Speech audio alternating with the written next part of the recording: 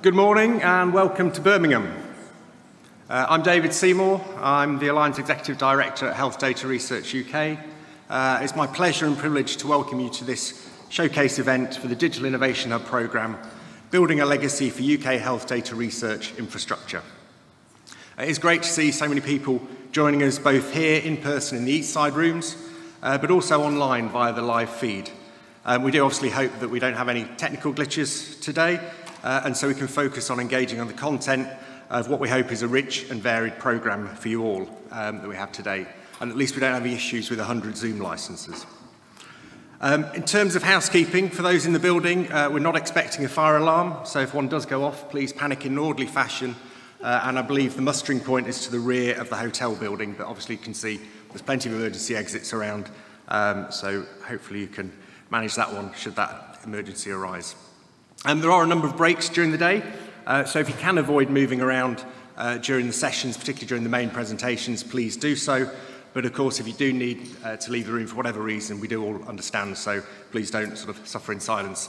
Uh, make sure that uh, you sort of leave the room as you, as you need. Um, so by way, by way of introduction, before we get into sort of the main speech, I just want to sort of provide a little bit of background. Um, so firstly, our mission at Health Data Research UK is to unite health-relevant data to enable discoveries that improve people's lives. And this, along with our vision, remains unchanged as we look ahead to the next five years. We're very grateful for the support and confidence of both our core funders and our programme funders, which includes obviously UKRI and Innovate UK, as we work with partners to, fight, to towards a future vision in which large-scale analytics and data can support all aspects of care delivery, public health, clinical trials and biomedical discovery.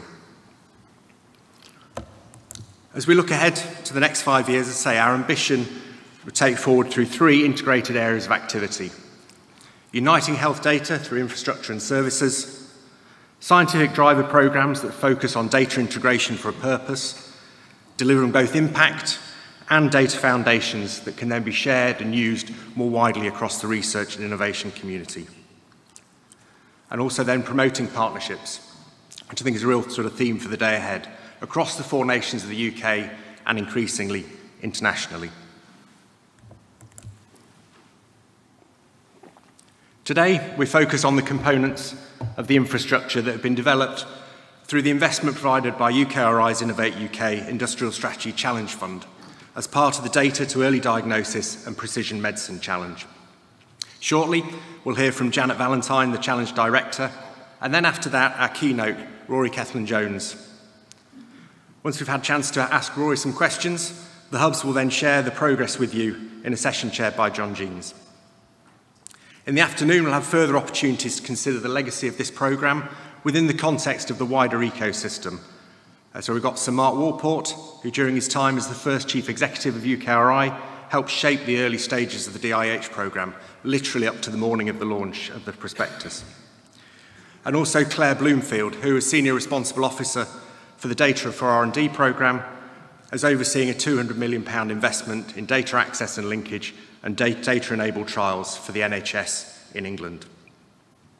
Our attention then switches to the Health Data Research Alliance, and the Innovation Gateway before Andrew Morris rounds off the formal part of the day with some closing comments. One of the key themes of the programme is collaboration. The hubs themselves represent the sort of triple helix, to use Andrew's terms, of the NHS, academia, industry, but actually coming together to provide trustworthy access to data and services that have public benefit running at the heart of it and the public involvement running throughout all of their activities. I think that is a real great legacy actually of the programme already, which is how the hubs in particular have transformed the way in which patients and the public are involved and engaged in the use of NHS and other sources of data. It's also great to see so many life science and technology businesses joining us today, both here in person at the event and online, and the importance of industry in stimulating that innovation and delivering products and services cannot also, also cannot be overstated. Collaboration at the local and regional level is vital, and I think Birmingham Health Partners is a real example to look to this, and it's great to have a number of Birmingham Health Partners in the room today, and also for their role within this region, supporting the Pioneer Hub, providing insight, and also our Better Care um, programme. As we look to scale up, though, for health data science on populations of 66 million people, UK-wide collaboration, I think, has been exemplified during the response to the pandemic. Through the work of Alliance partners as part of the National Core Studies, for example, the longitudinal linkage collaboration, but also, not shown on this slide, the work of the National Trusted Research Environments across the four nations of the UK as part of data and connectivity. We know that we also have to collaborate internationally increasingly, and we've shamelessly borrowed and learned from the Global Alliance for Genomics and Health. And also, it's been rewarding to see aspects of the Digital Innovation Hub programme supporting the International COVID-19 Data Alliance work, or ICODA. And indeed, the pandemic has been almost ever present throughout the programme to date. As we look back on the almost 1,150 days since Mark launched the programme, prospectus at the Drive unit in Great Ormond Street Hospital, there were actually 147 of those days uh, before, between prospectus launch and the actual launch of the successful hubs on the 1st of October 2019, shown here in the photo uh, with the enthusiastic face of Caroline Cake, our former chief executive. There have then been actually now 1,001 days since then, only 162 of which were pre-pandemic, with WHO declaring the global pandemic, of course, on the 11th of March 2020.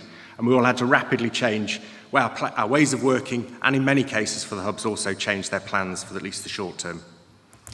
And that brings us to today's event, a chance to get back together again, uh, a chance to reflect, to take stock, to understand impact, share lessons, and help to shape the future.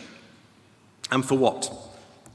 Well, quite simply for patients and the public, for family and for friends, and for the many millions of people that we'll never meet but who can benefit from the trustworthy use of data.